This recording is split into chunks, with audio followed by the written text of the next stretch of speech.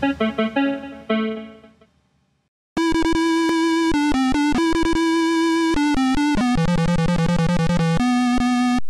man, Battle Chess. I forgot all about Battle Chess. Man, that was one of the first PC games I ever played. That actually got me to enjoy chess because, I mean, if you've ever seen Harry Potter, Wizard's Chess, it's Wizard's Chess, you know?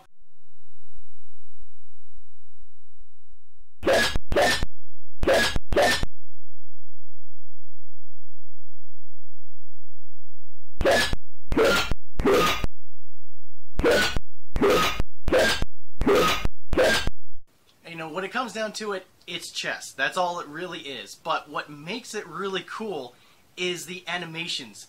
Instead of being, you know, the standard looking, you know, chess pieces, they're actual people. And so you move them, you know, they walk around, it takes forever. The animation's really long, especially the rook. Oh my god, the rook takes forever. But the real kicker here is when the pieces begin to fight. In, in the animations of them fighting each other, it's hilarious. It's awesome. It makes you want to see every single one. And some of them are harder to see than others. I mean, you know, what are the odds that you're going to see a king kill a queen?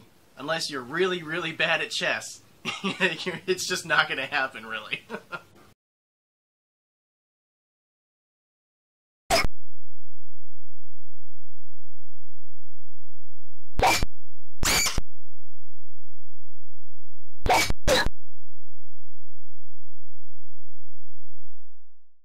the other cool things about the game is the fact that it's pretty customizable.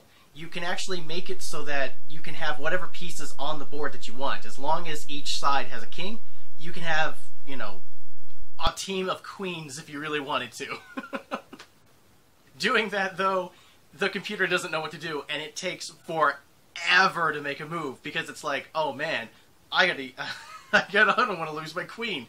But then if I don't use my queen, my queen will die. So I got to use my queen on his queen while not losing my queen. You know, I, that's that's how I pictured the computer thinking because it it takes like a minute or two for it to actually think of what to do, and it's so simple. It's just a, a bunch of queens, you know.